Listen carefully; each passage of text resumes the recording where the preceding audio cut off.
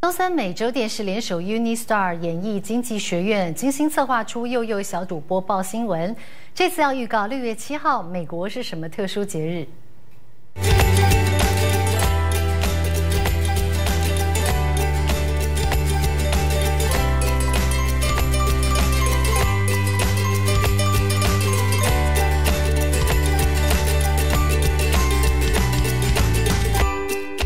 大家好，我是悠悠小主播 Brandon。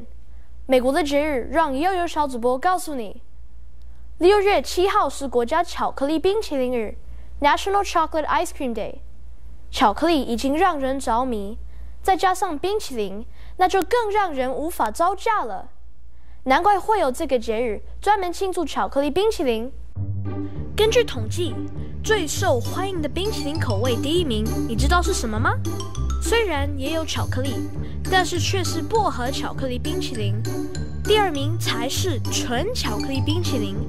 而全美国最爱巧克力冰淇淋的三个城市，分别是 San Antonio、纽约和旧金山。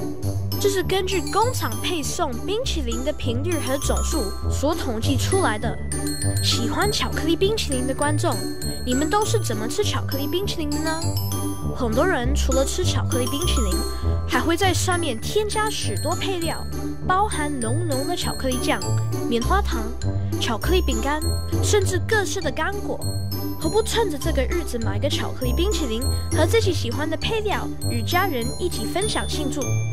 又又小主播 Brandon，洛杉矶报道。